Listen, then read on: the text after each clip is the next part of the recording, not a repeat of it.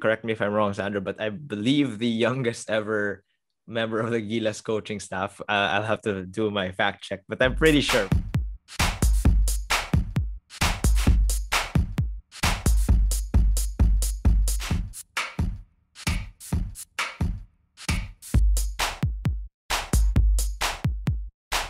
Everyone. Welcome back to another episode of the Sports Season Podcast, where we get to know the sports that you know about and those that you should know about. So, finally, we're going to have a basketball episode for today, but we'll be focusing a little bit more on the coaching aspect of the game.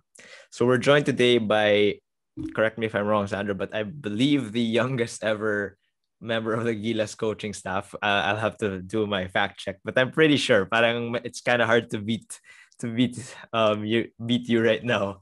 Um, also a former UAAP Blue Eaglet and a former member of the Ateneo um, Ateneo's Team Glory B and um, for uh, also the former student manager of the UAAP team, Mr. Sandro Soriano. Sandro, uh, thanks for being here. Yep. Happy to be here. Happy to join this. Thanks, bro. so um, you know, you, we've been in um, we've been through this whole pandemic. I'm I'm I'm sure you've been happy to be able to go out um and to to get to play some ball. But you know, uh, how have you been? What have you been up to aside from that? Well, aside from that, uh, so we we just had our we just ended our bubble last week. Sadly, naputol because you know uh, all the uncertainty of the schedule of the venue, you know, stuff like that. But then this whole pandemic, you know, I was just looking at watching videos about basketball, you know, coaching. So from that, nag-start yung season, my first ever season with Talk and Text last um, October at or August. So at least you know from that whole lockdown, I had to, I had uh, had time to learn and to apply it after. So yeah, it was a you know pretty good lockdown for me. yeah um that's one of that's the reason i invited you because um I'm, I'm obviously there's a lot of different personalities in basketball but um i think it's interesting to learn because personally also interesting for me yung tipong you know you may not have been able to play you know team a basketball but now you're coaching at such a such a high level. So um you know i wanted to kind of get to know your story and get to know your thoughts on on the different things. So um we'll start off with um um back in ateneo high school so the first time I saw you, because I think it was tryouts for I'm not sure what team, probably siguro Passerelle. Um, yeah.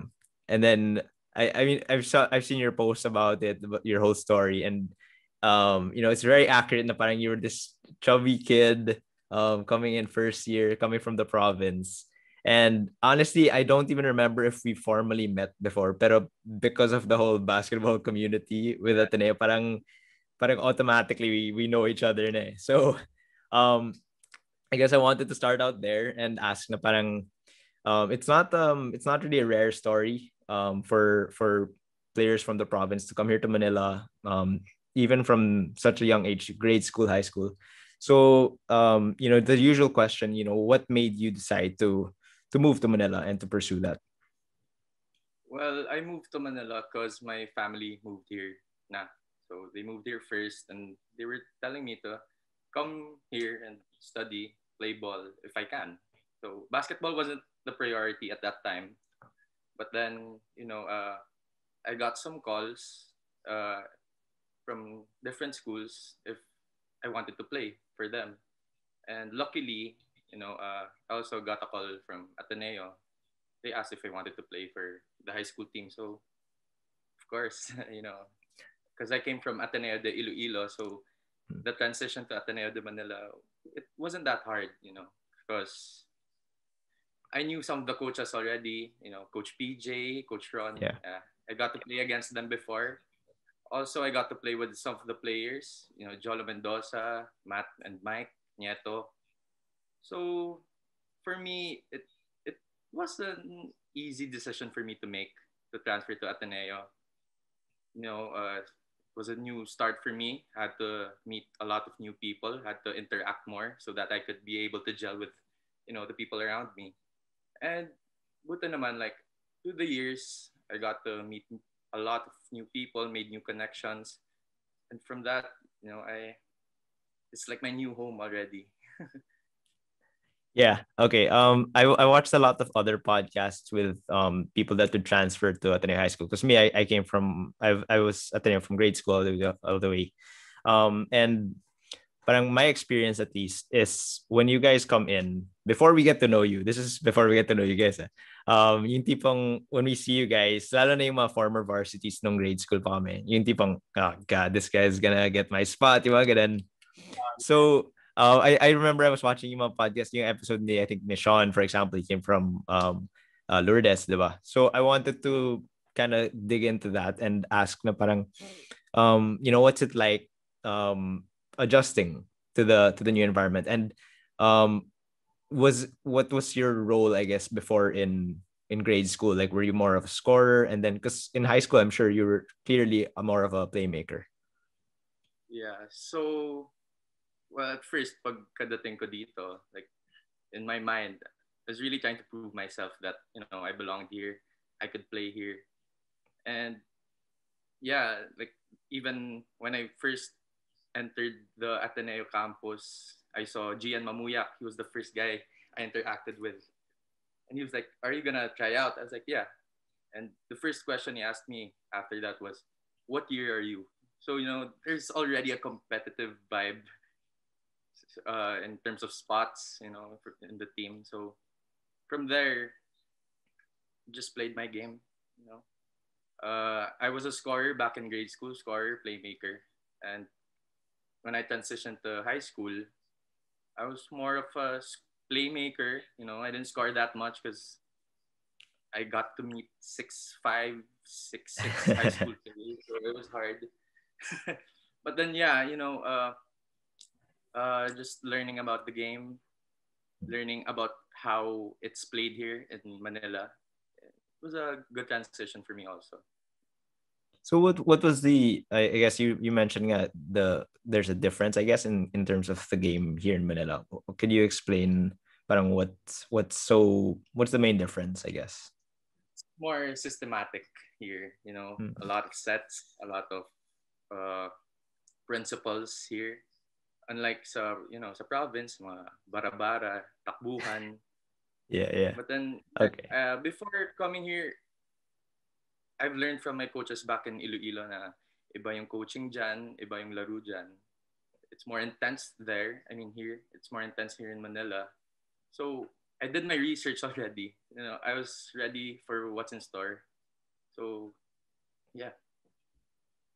Okay, yeah, and I mean clearly it, it panned out. You you got to play for the Blue Eaglets, and then um, I wanted to talk now about yung experience with um in college. So you were um, I guess in a way doing double duty as the the manager of the of the UAAP team and the um and playing for Team Glory B. So what was that like? Um, I guess balancing that and your experience in both.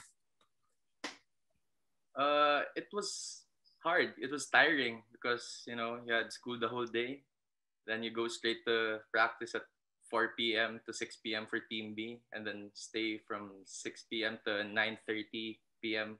for Team A. But you know, uh, it's very fulfilling as well because you, you learn a lot. you learn a lot. And in Team B, uh, I played for four years for Coach Yuri Escueta. Uh, in my second year, I was the team captain already for Team B. And, you know, being a team captain and being a student manager as well helped me in, you know, becoming who I am now. So it's very uh, it's a very humbling experience for me to play for Glory B, to know what it uh, to know what it takes to play for Team A, to understand uh, how much hard work it takes to play in Team A, and serve just serving Team A as a manager. Serving Team A made me realize that to fulfill your dreams of playing in the UAAP, you don't really have to play. mm. You just really have to serve the people. You have to serve Ateneo, which I'm really thankful for, you know, for giving me that opportunity to live out my dream in a way. Yeah. Yeah. Um, okay. For for those that aren't familiar, because um there's only there's only I think four four team managers in the team. Tama ba? We have six we grew. Six. We grew Okay, okay. throughout the year because of all the tasks to be done. You know. Yeah, yeah. So Okay. from five we became six, and then we became seven. I think. Yeah. Okay, so what um parang what exactly are the roles of the of the team manager? Because I mean, from an outsider's perspective, obviously it's very enticing na parang pa- you're gonna be close to to the team, you know, the the, the champs. But like what are the what are the duties or like what what do team managers do um both before both during games and um I guess in in practice?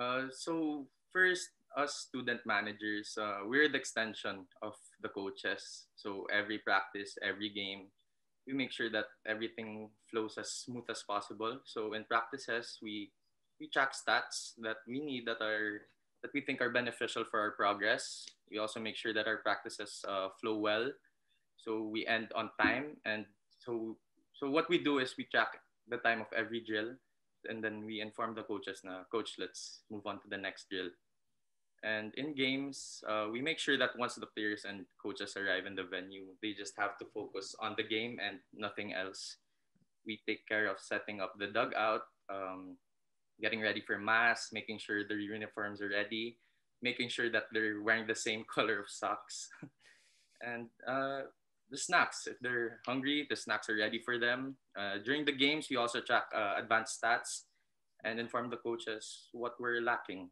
Yeah. So okay, how does you you were mentioning the, with the advanced stats and everything? So I think that's the most um relevant talaga to the to the in-game experience. So um I guess how much of it is something that you can learn on the job?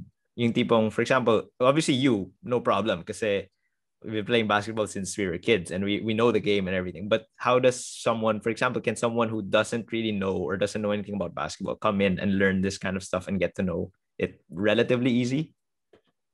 Yeah, because you know during the game sometimes it's the girls who do it, the Mm. girls student managers, the females. So we you know we trained them day in and day out throughout the summer how to track it also, so that if we're not there, if we're not available during games or during practices, they can handle it naman.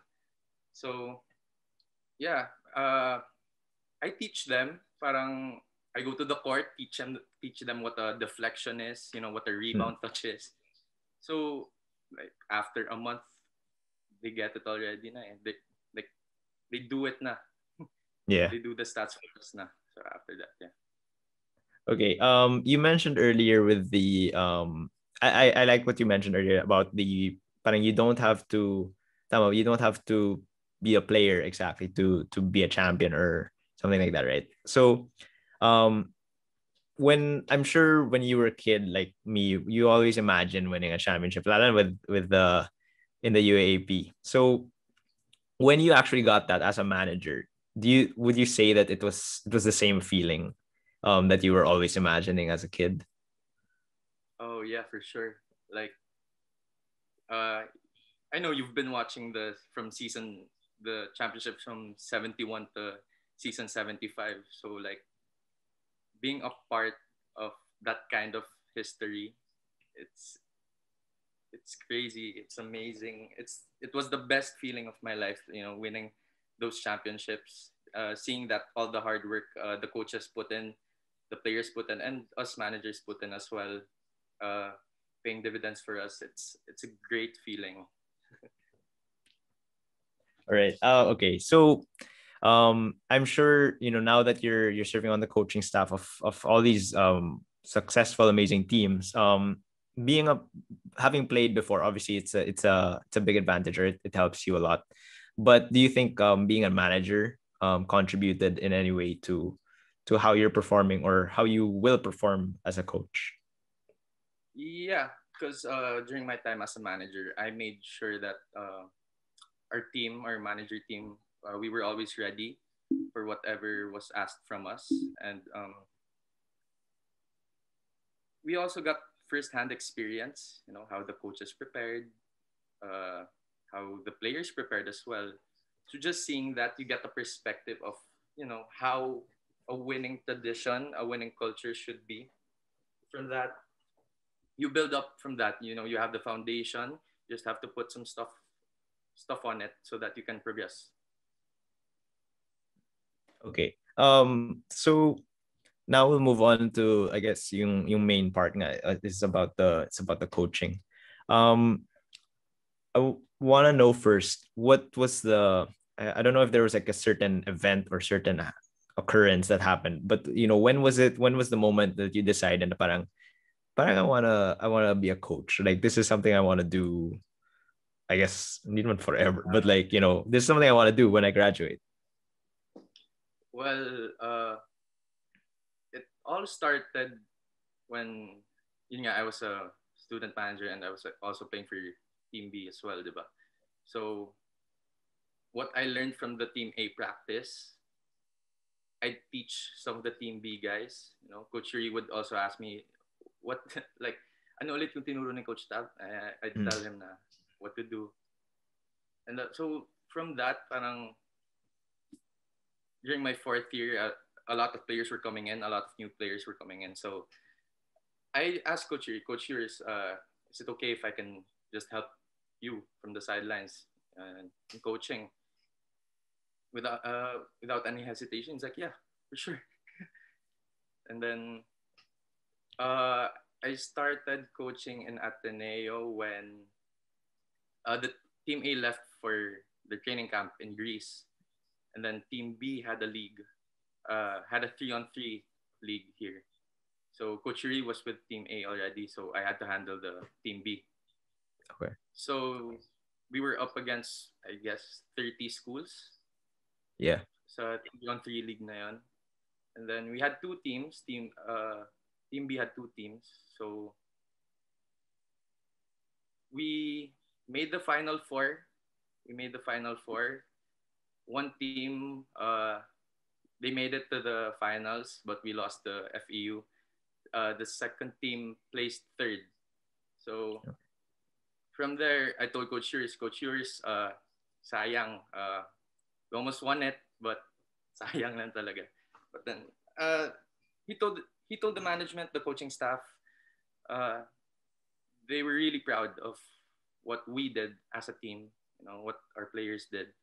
And they also thanked me na parang you're doing a good job, you're doing a great job. Just learn from this, and just build build up from this. So from there, Ateneo, and then after winning our third championship, season 81, I got a message from Coach Sandy if.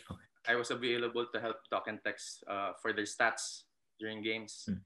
and in practices. So without hesitation, sabi ko, of course, coach, anytime. For sure, for sure.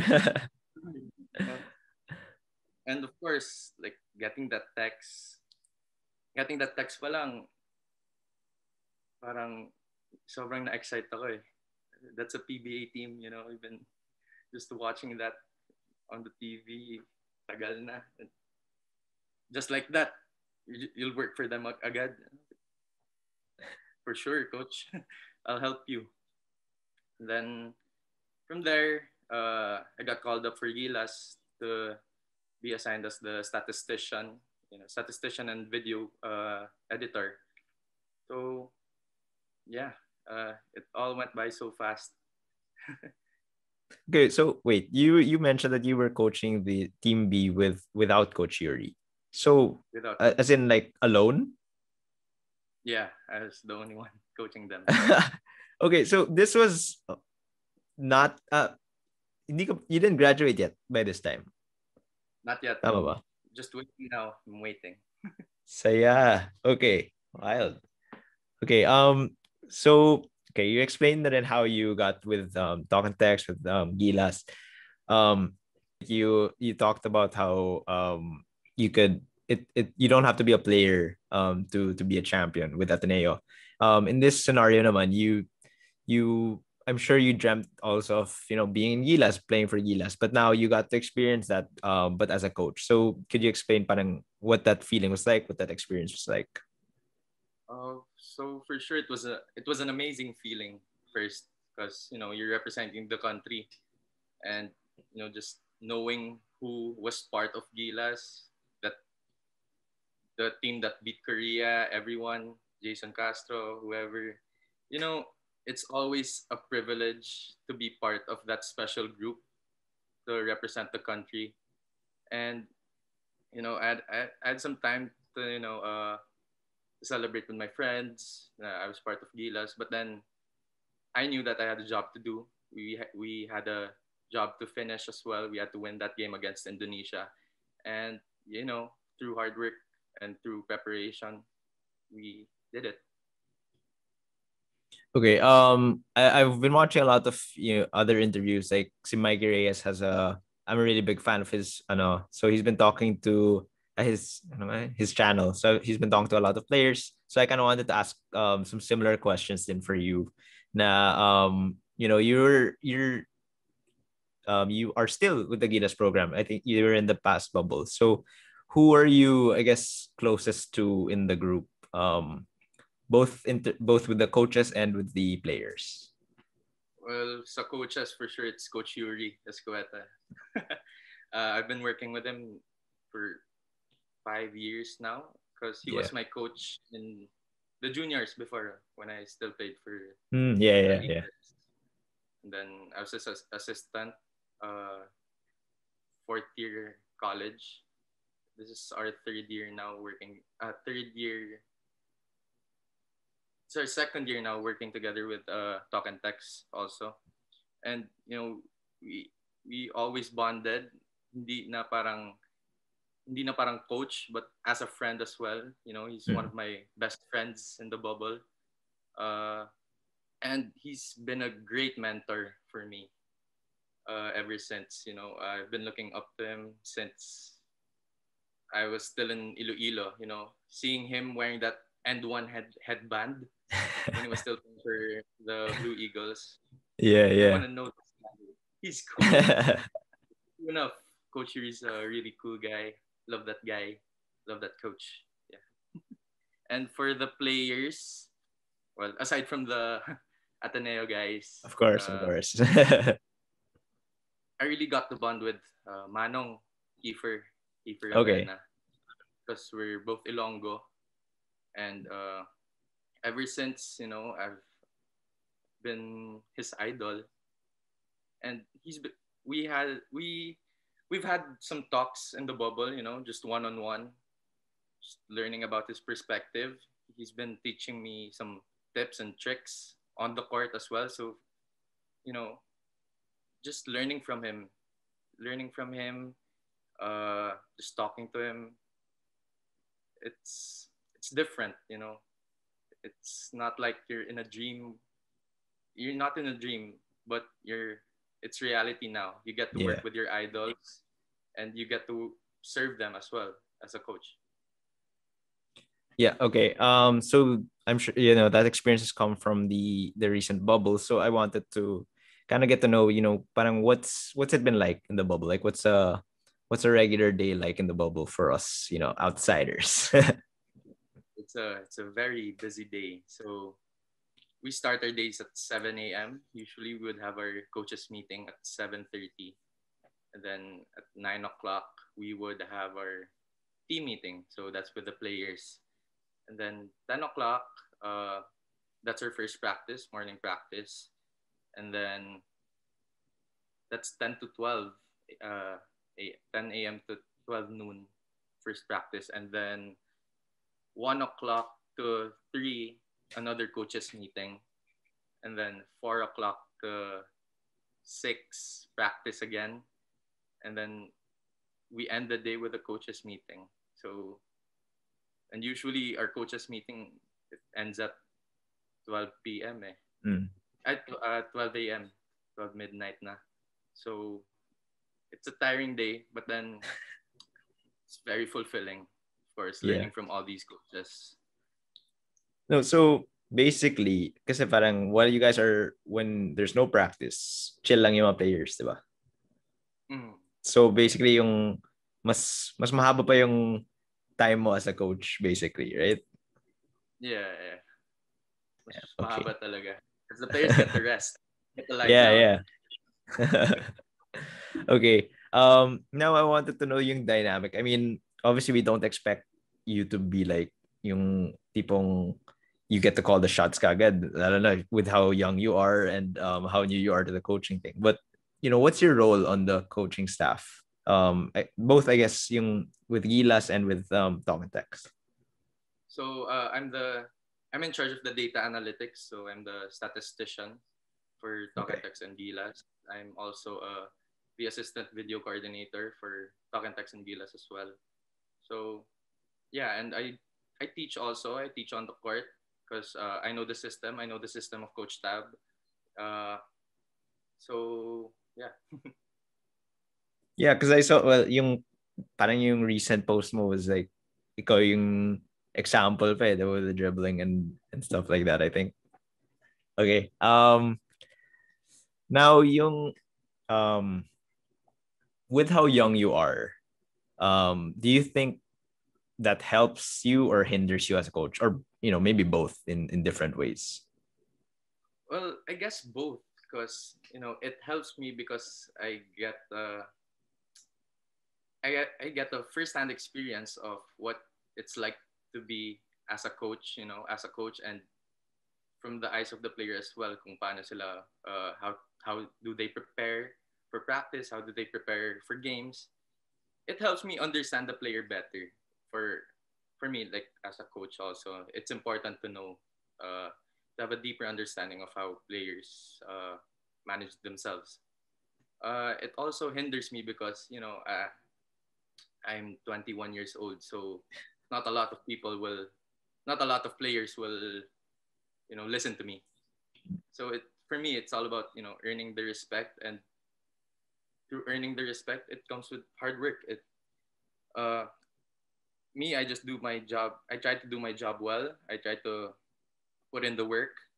And then I, for me i think that's how i can gain the respect also which uh throughout the months throughout the years has gained me as well. So it's good.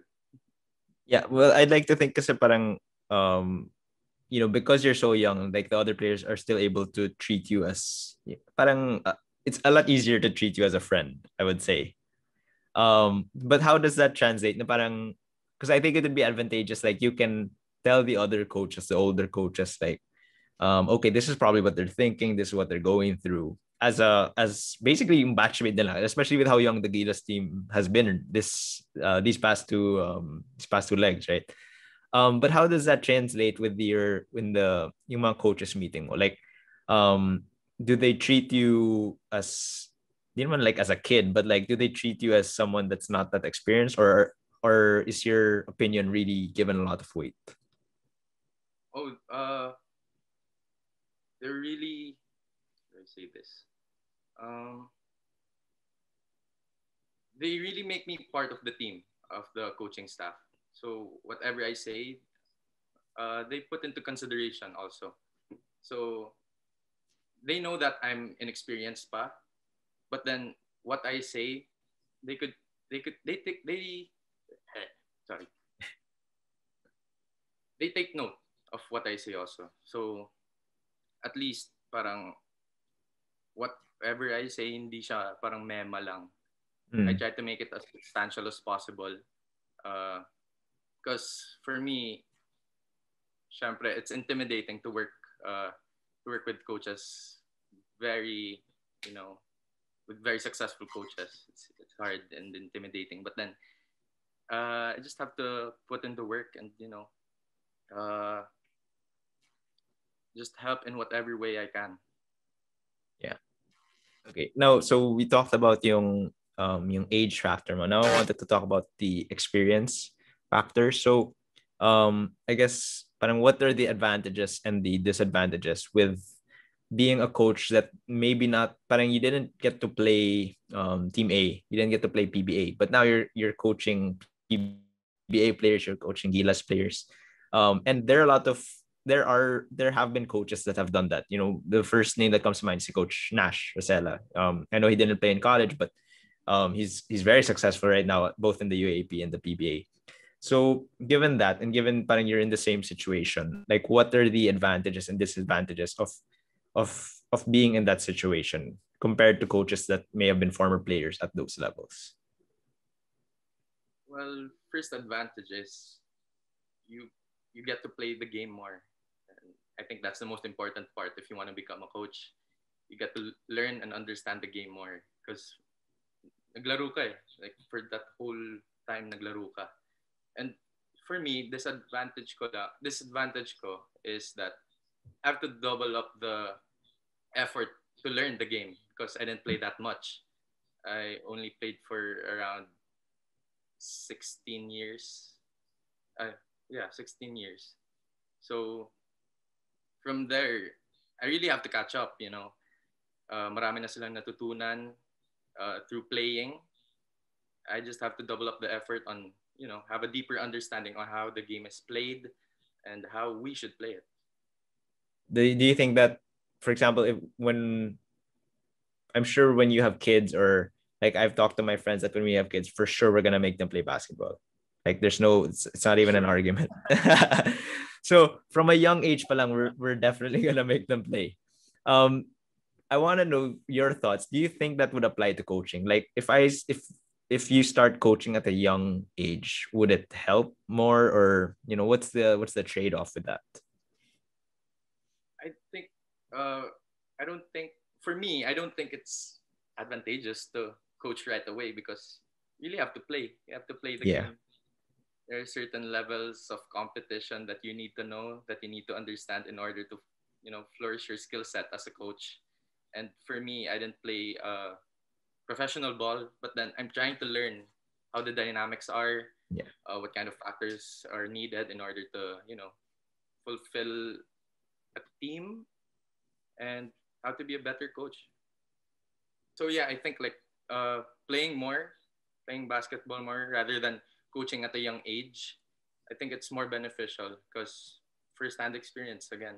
Uh, it's all about the reps, as Coach Tab would say. So yeah. Yeah. Okay. No. Exactly. Exactly. Um. So um, I'm glad that you brought up Coach Tab. What was it like um, learning from Coach Tab? Because your batch, um, when you came into college, Coach Tab na kagad, di ba? Kasi kami may Coach Bo year pa kami, first year ata namin. So once you came in, and you're already a student manager, first year pa lang, right? So what was it like learning from Coach Tab? I guess um, it's different than parang yung first year niya. Because like, you don't know what to expect. Like if you came in let's say yung nag two championships nag-had one championship nga lang eh. Parang you're there's already like okay, whoa, this is this guy. But like yung first year niya pa lang, uh, we'll start with that first. Yung parang you don't know what to expect. How did how did he I guess get the trust of the team, get the confidence of the team? Well, you could just see it in his demeanor. Like every time he talks, every time he explains something, he knows what he's talking about.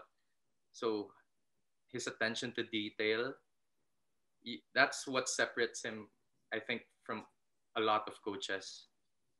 His attention to detail was on point and is still on point until now.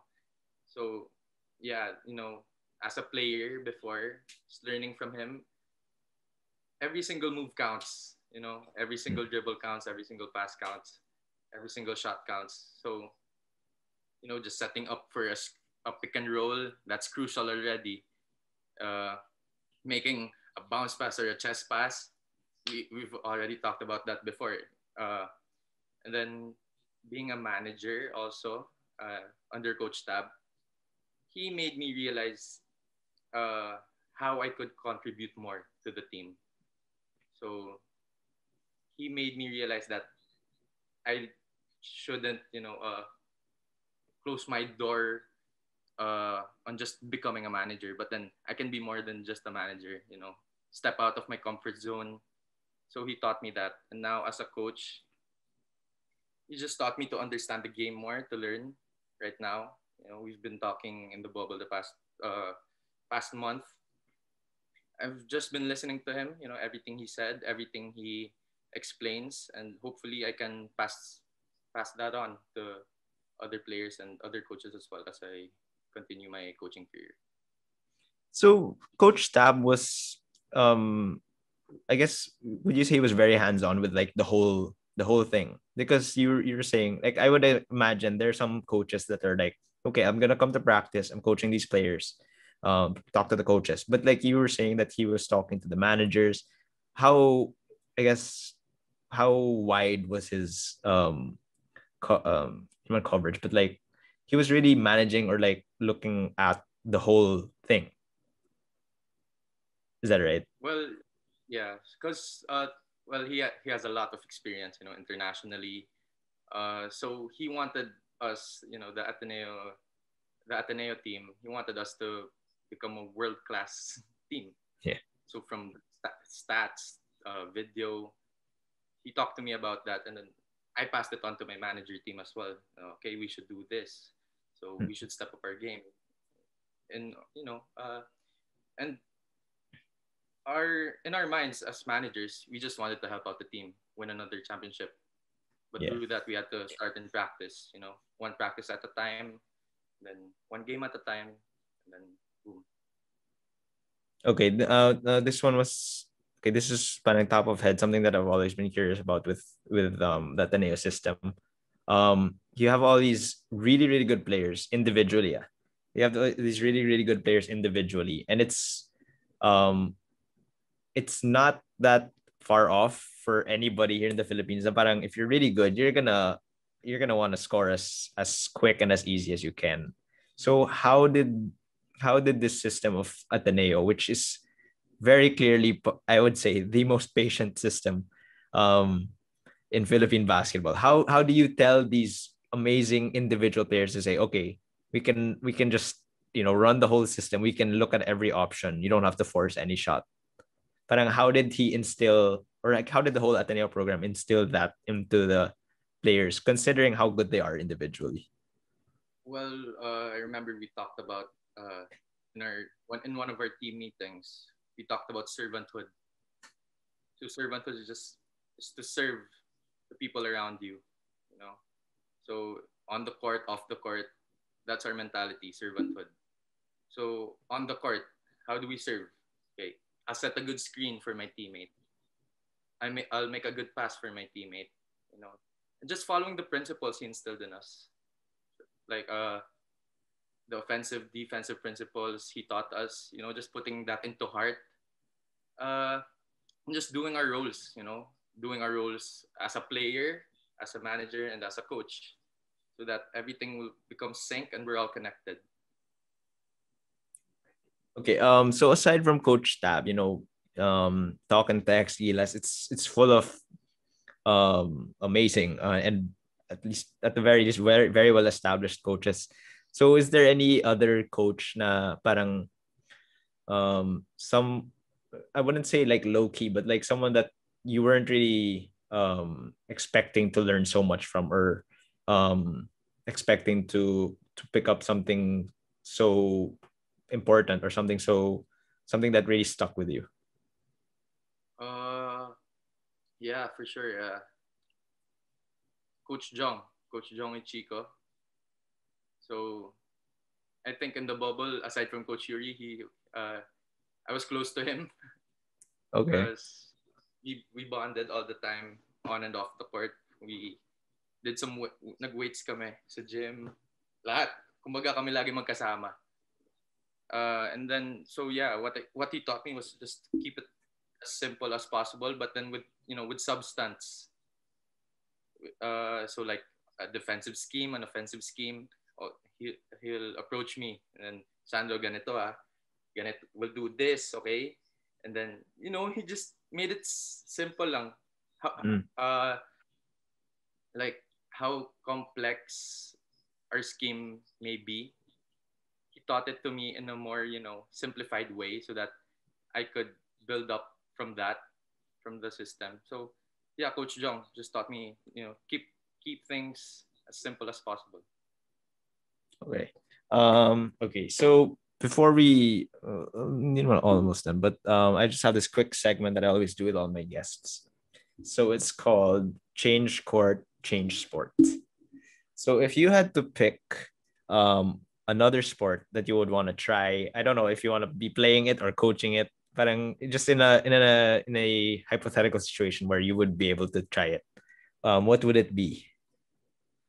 Uh, football soccer, yeah. Foot- Soccer. Sure. Okay. Okay.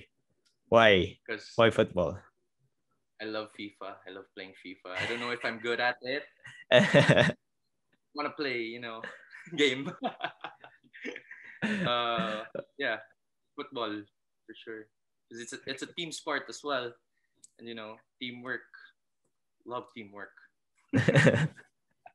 okay. Um. Second, last one. Um. Who uh, obviously you're surrounded by a lot of Philippine athletes or basketball athletes, but um, who would be your favorite athlete from another sport?